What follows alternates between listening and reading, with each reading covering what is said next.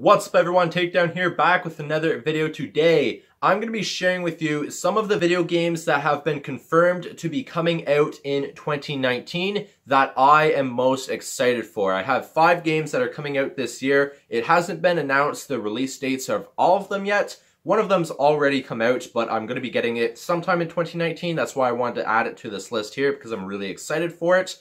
But all of these games are not the top games that have been announced for this year. This year, there's tons of games that are coming out, but these are the five that interest me the most as of right now. So let's get right into this.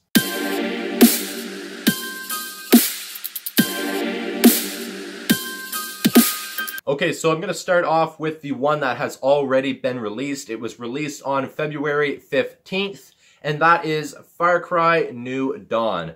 I fell in love with Far Cry series. The first game that I played was Far Cry 5. I honestly loved everything about that game. I actually went and beat the whole campaign. I have to go back and play and finish off some of the other trophies. I never got to play uh, online the arcade mode. I never got to try that yet, but I plan on doing that and going off and platinum the game. It's very possible to do that as long as you see and follow everything that you need to do for the trophies. It's all in all a really fun game. The story is amazing. And Far Cry New Dawn is a continuation from where Far Cry 5 ended. It's, I think in the story it's actually 17 years after the events of Far Cry 5. So it's going to be very exciting to see what happened at the end of Far Cry 5. A lot of big stuff happened. I don't want to spoil it because I know one of my friends that might watch this video has not had a chance to play Far Cry 5 yet and hasn't seen the ending. So I don't want to spoil it for him or anybody else, but to see what happens and how Far Cry New Dawn starts because of what happened at the end of Far Cry 5 is going to be amazing. I can't wait to check it out. But what I've seen so far is it's more of a apocalyptic game, which as you guys know, I love zombie games. I love stuff like that. End of the world scenario games. So Far Cry New Dawn is definitely on the top of my list that I'm most excited for. I can't wait to get it and start trying it out. And I'm really excited to see what it has to offer and what kind of story it's all about. Next up is one that I know not everybody is a fan of, but the reason why I get these games every year is because I have a collection of the past 16 years straight of collecting this video game. That is WWE 2K20. Whenever it comes to 2K, I know 2K10 for NBA was a phenomenal game, and it seems like at the start of every decade, they go all out. So I'm assuming WWE 2K20 is going to be a phenomenal game, and they're going to go all out for it like they did back in 2010. So I'm really excited to see what they do for the game. I love the game. Like I said, I've collected the game for 16 years now, so it's going to be pretty exciting to see and continue my series and continue collecting that game. Next one for me I am a huge fan of NHL, so I'm really excited for NHL 20. For me, I only get an NHL video game every two years. That way I have a long time to play the game. I've been, I've been playing NHL 18 for a while now, multiple and multiple seasons worth of gameplay and gameplay hours and everything, and just so much fun.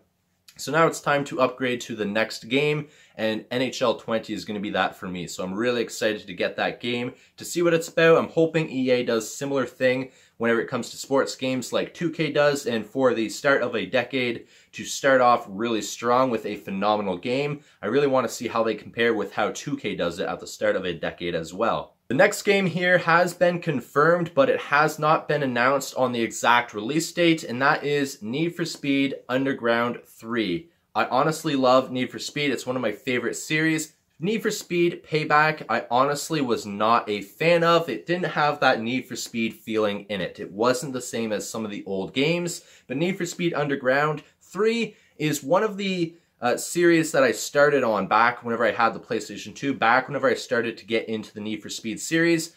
Underground was one of my favorite games, and back then, I was getting so many Need for Speed games. They were so much fun. So I'm hoping with Need for Speed Underground 3 that they are basically going back to their roots and it's more of a street racing mentality in the game and a story and stuff like that. Kind of like Fast and the Furious. That's what I used to love about the franchise. So I'm hoping they go back to their roots and do something like that. That would be very creative to see them actually do. I loved the story for Need for Speed 2015. I kind of like the story for Need for Speed Payback, but the fact that it's in Vegas is pretty interesting, but the gameplay itself is not the greatest. So that's the main reason why I'd like to see them go back to their roots. Maybe New York, maybe LA, something like that. and a whole bunch of street racing would be nice to see, and a whole bunch of new customization options to make a wicked drift car, street racer, something phenomenal like you see in the Fast and Furious franchise.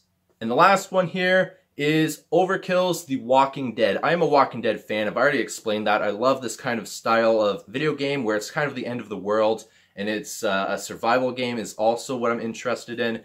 So this game here, I've seen a lot of gameplay. You have a basically a camp and that seems to be your mission hub. Whole bunch of stuff to do, open world. You can go and play how you will, but you have to go and do the certain missions and beat those certain missions. But by the sounds of it, you can go and do them however you want.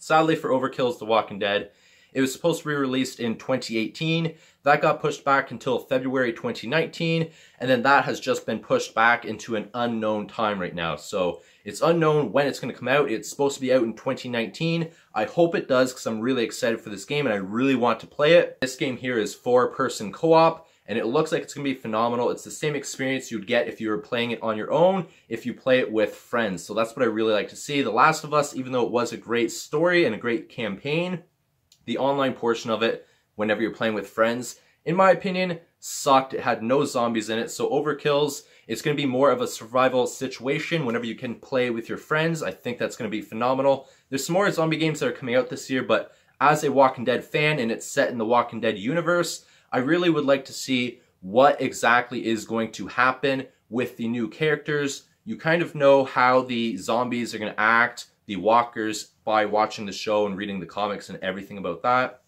So it's going to be pretty nice to see what exactly is the game about. But like I said, it's been pushed back till an unknown time. I hope it is released by the end of 2019. I really would like to see that by the end of the year so I can purchase it and start playing it because I'm really excited for this game. So these have been the five video games that I'm most excited for for 2019. Like I said, one of them has already come out. Two of them have not been announced. And the two sports games, NHL 20 and WWE 2K20, they always come out every single year. So you know they're going to come out. It's just I don't know who's on the cover right now. And I don't know the exact release date of the games and what's going to be in the games. So I'm really excited for all of these games. Comment down below what games for 2019 you are most excited for yourself and I really want to see what you guys think. I know there's a lot of games coming out of this year that are very interesting and I'd like to play and like to see, but these are the five games. If I'm only going to get five, these are the five games I'm definitely going to get. I am going to leave this video here. Hope you guys did enjoy. I'll see you guys in the next video. Please take care. Peace.